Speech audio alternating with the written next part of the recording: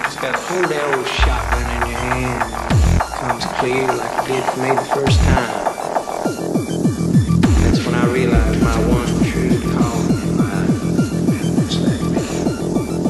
Shit, man. I'm a natural born killer.